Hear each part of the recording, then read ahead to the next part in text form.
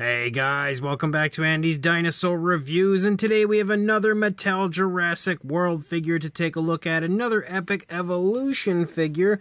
As you can see, we've got ourselves the very first ever Danger Pack 2-pack, because we've never had two figures included in one set before. We have the Eoraptor versus Stegouros, and this looks like a really cool set, honestly. Definitely two really fun species, and I certainly did not expect a Stegouros to come from Mattel anytime soon, but definitely excited to see it included. This uh, Eoraptor, you know, I could have considered that one. I could have seen that one coming maybe at some point, but for some reason the Stegouros was just a really nice surprise to me.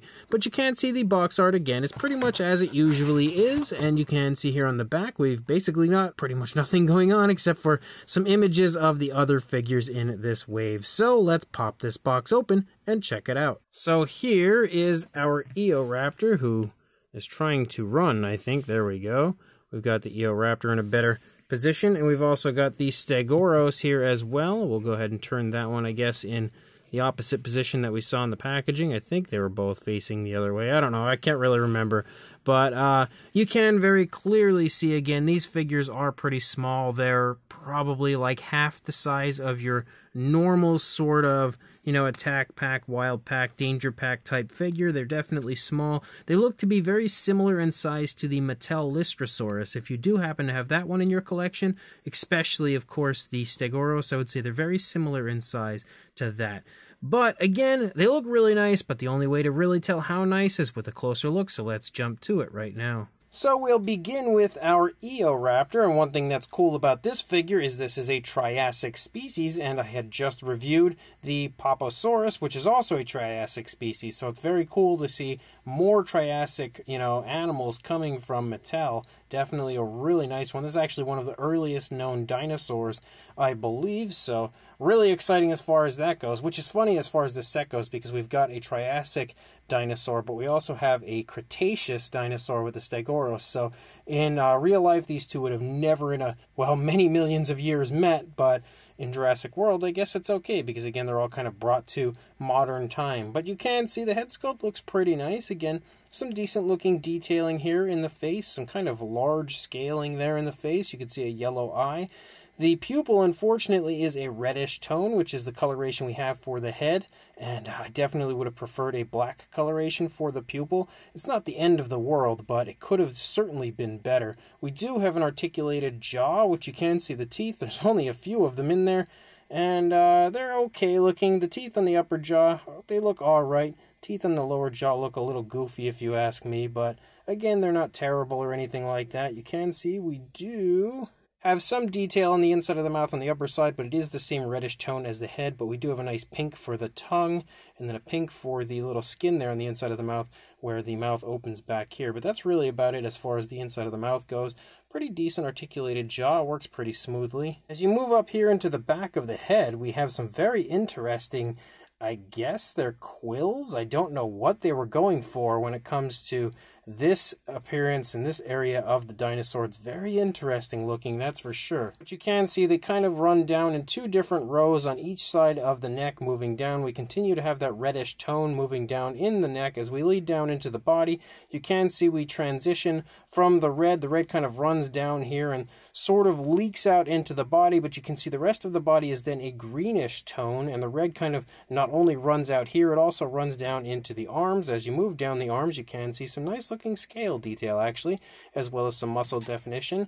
And then you've also got some nicely sculpted hands and fingers down here for the Eoraptor. You've got some pretty uh, long claws as well for the dinosaur. You do have articulation in the arms, which can go forward and back. But one thing that is unfortunate that I didn't notice until just now is even though I thought we actually had an articulated neck, we don't. It's actually completely you know, stuck there. So I assume that that means that there is no articulated neck. It kind of has like a jagged appearance as well, so I can't see it swiveling, and uh, definitely isn't moving forward or you know up or down or anything like that. So no articulation in the neck, which is kind of surprising. But as you move up into the body, you can see we've got some really nice, very vibrant scale detail. You can also see there is a speckling on the figure showing up here and there. You've got some osteoderms up here at the top of the hip and thigh and everything leading back here into the tail.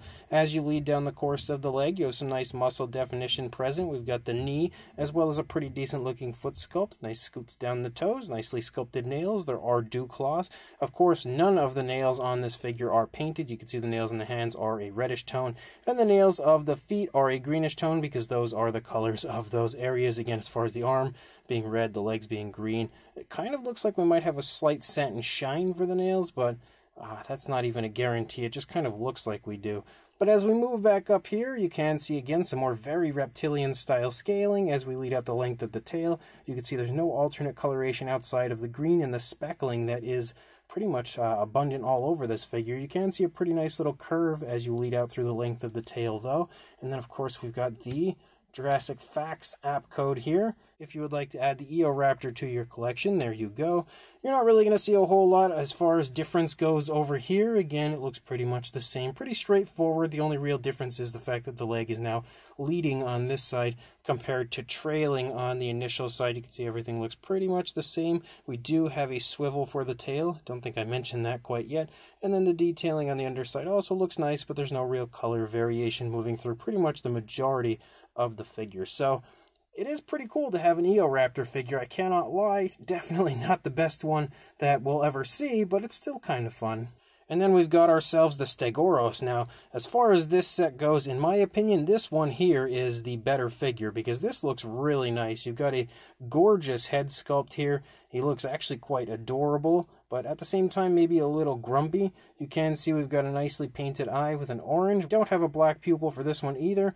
We have a, you know, green, basically the dark green as far as what we see on the body. You can see that there is a variation of color here for the beak which looks really nice, a different coloration there. You can also see the nostrils sculpted out, as well as some kind of cracks and crevices within the beak, and the beak also has a little bit of a satin shine to it, which is nice. We also have this very light green here, kind of moving through the face. It kind of stripes down under the eye, sort of splotches in a few places, and then leads back into the body. As you lead up here to the top of the head, everything detail-wise looks really nice. We've got some beautiful scale detail. You also have the bumps and everything here uh, moving along, something that you do see all over this dinosaur. Looks like we have articulation in the neck on this one as well, but no, definitely not going anywhere. So I guess there's just no articulation because we don't have an articulated jaw, no articulation in the neck. I don't know why they wouldn't have at least given it a swivel right there in the neck region, but they did not.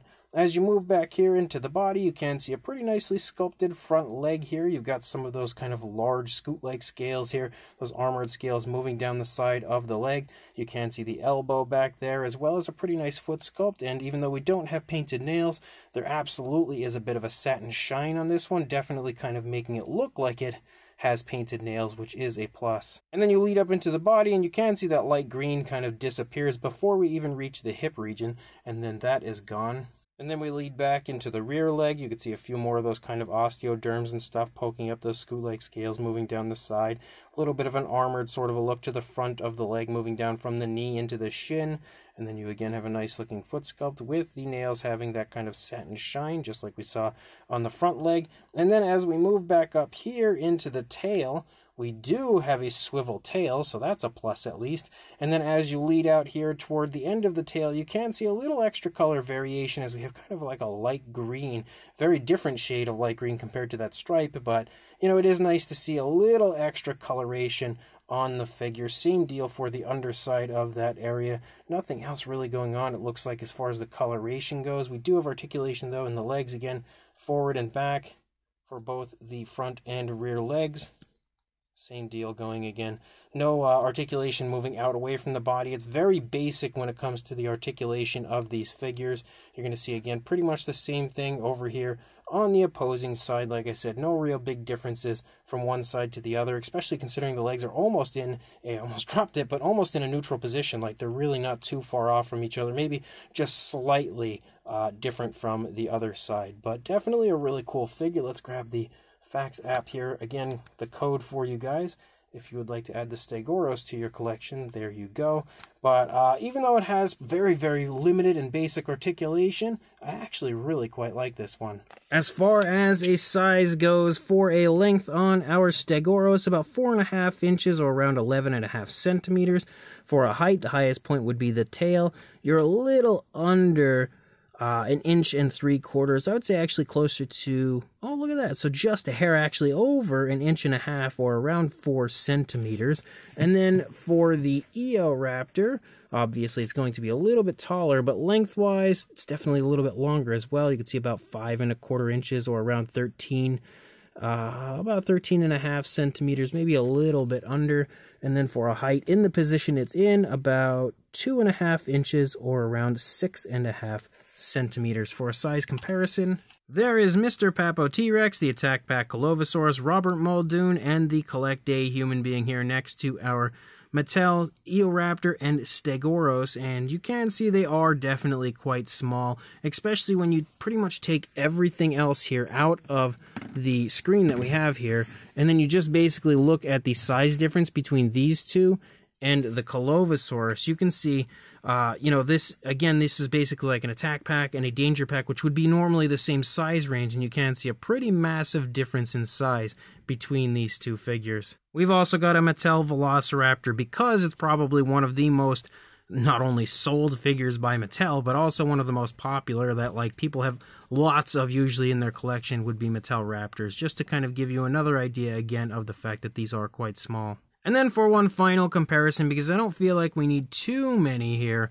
the Lystrosaurus from Mattel has now stepped in for a comparison next to the Eoraptor and Stegouros, and you can see pretty similar in size to the Lystrosaurus, which is one of the smallest, you know, mainline Mattel uh, figures that we have, uh, you know, outside of human beings and the compies and stuff like that. But uh, if you are familiar with the size of the Lystrosaurus, you can see that they're kind of similar in size to the new Danger Pack, Eoraptor, and Stegouros. So this brand new Mattel Jurassic World Epic Evolution Danger Pack Eoraptor versus Stegouros set is really cool, and honestly, I hope they continue to do this into the future. I would love to see Mattel release more two packs of smaller species like this because you look at them and I guess you think, well, you know, an Eoraptor or a Stegoros are both pretty small. You don't really want to release them individually because it's not really fair to the person purchasing them unless they're way cheaper. So why not take two small species and combine them into one release? In my opinion, it's honestly quite genius on the part of Mattel, and again, as I said, I really hope they do more of this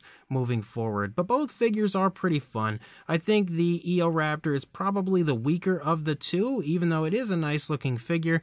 It's just not really that great. I think the one thing that kind of uh, not really kills that one, but takes away from it for me would be the red pupil. Just really bothers me. I much would have preferred a black pupil. And the fact that there is no neck articulation is a little bit of a bummer for that one because it really was quite unnecessary. We definitely could have easily had neck articulation in that. I mean, look at the Lystrosaurus, pretty much the same size as these figures, and that had very nice neck articulation. Outside of that, though, the figure looks pretty cool. They have a fun paint scheme for it. Not anything amazing because there's not all that much color for the figure, but it looks okay for what it is. And, you know, not having neck articulation is a bit of a bummer, but the articulation through the rest of the figure works pretty nicely. It's pretty smooth.